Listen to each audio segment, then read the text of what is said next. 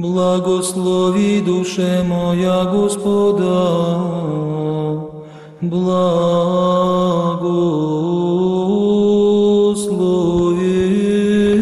еси, Господи.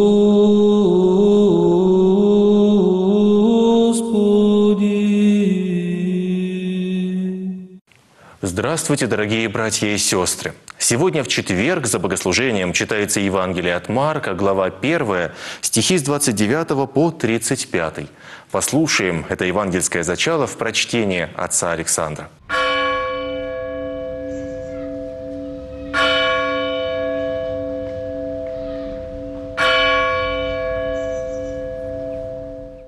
Во время оно приди Иисус в дом Симонов и Андреев с Яковом и Иоанном, Теще же Симонова лежаша огнем жигома, и Абия глаголуши ему о ней, и приступль воздвижию, ем за руку и я, и оставию огонь Абие и служаше им.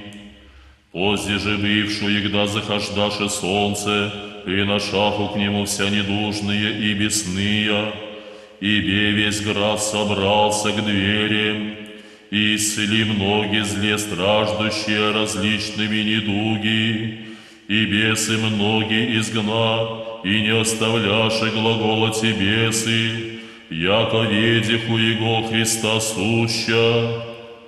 И утро, ночи сущей зело, восстав изиде, и иди в пусто место, и ту молитву деяше.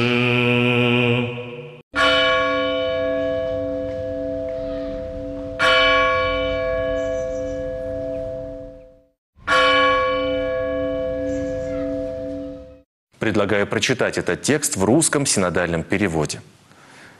Выйдя вскоре из синагоги, пришли в дом Симона и Андрея с Иаковом и Иоанном. Теща же Симонова лежала в горячке, и тотчас говорят ему о ней. Подойдя, он поднял ее, взяв ее за руку, и горячка тотчас оставила ее, и она стала служить им. При наступлении же вечера, когда заходило солнце, приносили к нему всех больных и бесноватых.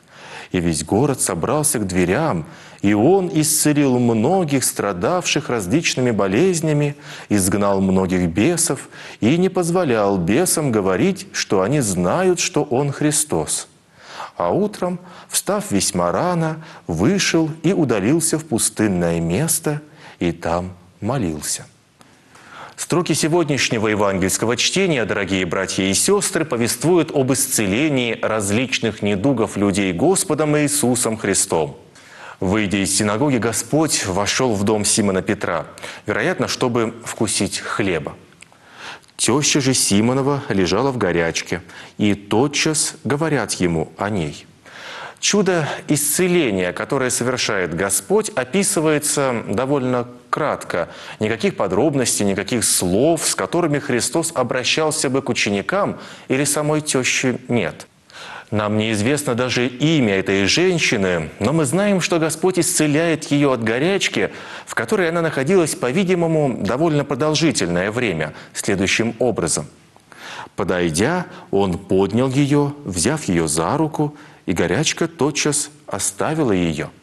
Ефимий Зигабен пишет, «Коснувшись руки ее, он не только уничтожил горячку, но и тотчас возвратил ей полное здоровье, так как она поднялась и служила».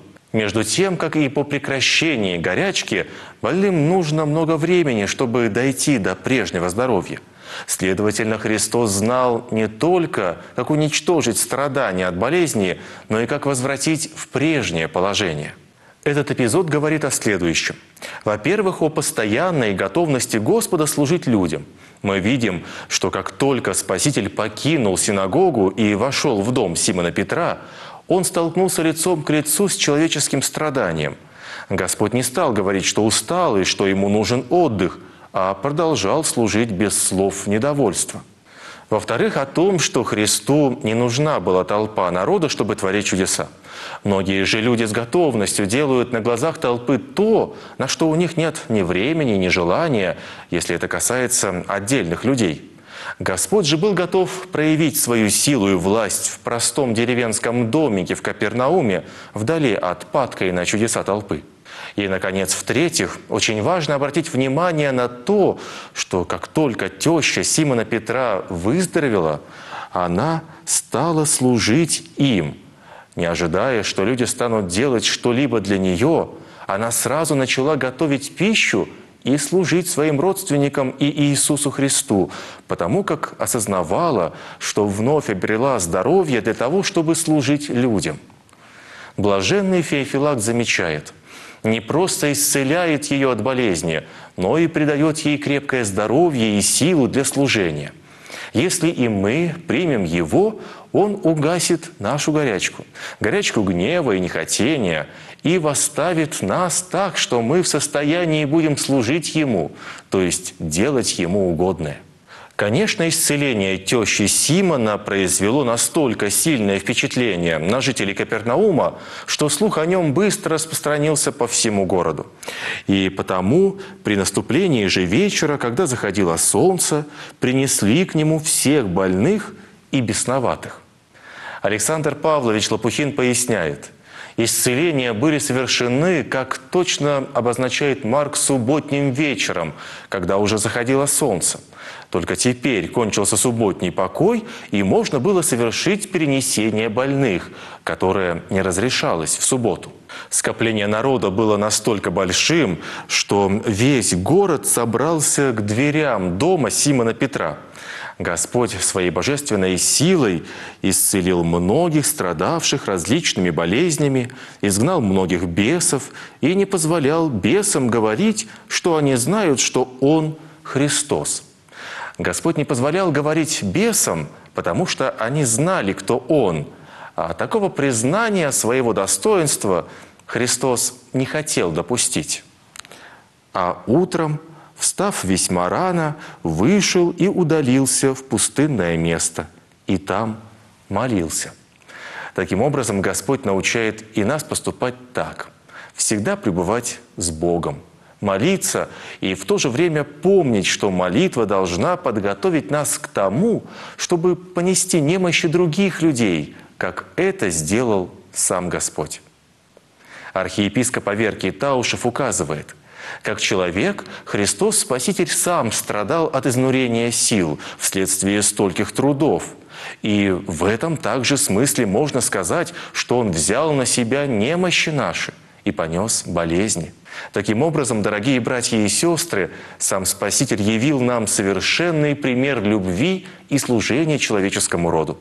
Важно лишь помнить, что каждому из нас Господь открывает возможность стать подобным Богу, исполняя Его волю и служа ближнему – Именно поэтому человеку, поистине любящему Бога, следует стремиться к деятельному служению своему ближнему, понимая, как важно видеть образ Божий в каждом из людей. Помогай нам в этом, Господь. Благослови душе моя Господа, благослови.